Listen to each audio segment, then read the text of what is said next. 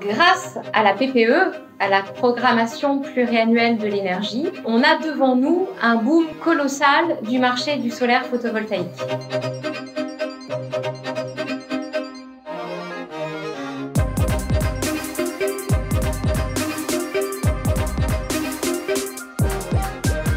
La technologie solaire photovoltaïque vit un grand tournant.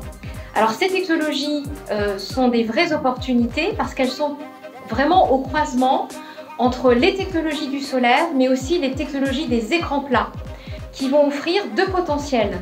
Le premier, d'aller beaucoup plus loin en matière de rendement, et qui vont aussi faire apparaître des caractéristiques de coût qui vont être très très bas. Donc en fait, derrière, il va y avoir de la haute technologie, mais aussi des gigafactories euh, avec des très fortes cadences de production. Nous avons par exemple des projets aujourd'hui en discussion à l'échelle de la France qui visent l'installation sur une seule unité de production d'une capacité à 2 gigawatts par an et donc bien sûr qui va contribuer à l'installation des nouvelles centrales à venir sur le sol français et qui vont permettre derrière d'alimenter plus de 400 000 foyers. Alors ces technologies vont être aussi intéressantes pour tous les utilisateurs alors qu'on parle de consommateurs qui lui va être impacté au niveau de sa maison. Au niveau de l'installateur des parcs solaires, hein, donc là on parle plutôt euh, des installateurs de centrales classiques, mais aussi au niveau des, des collectivités.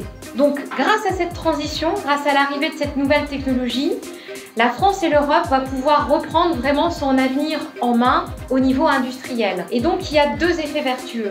Le premier, c'est le retour de l'emploi en France grâce à ces filières.